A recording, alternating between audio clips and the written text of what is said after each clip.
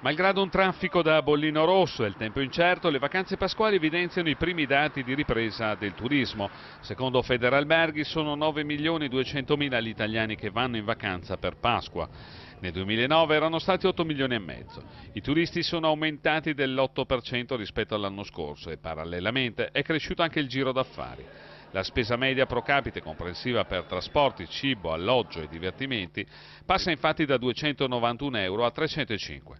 A questi segnali positivi si deve aggiungere il trend favorevole dei flussi turistici stranieri in Italia.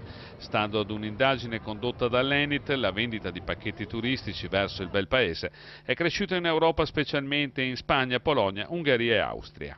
In aumento anche i turisti extraeuropei che scelgono la penisola, i maggiori incrementi arrivano da Australia, Brasile, Canada e Stati Uniti, ma anche da India e Corea del Sud. Gli italiani che non escono dai confini nazionali ma che vanno fuori porta preferiscono il mare alla montagna. Poi nelle loro preferenze ci sono le città d'arte che precedono laghi e località termali. Marco Melegaro, SkyTG24.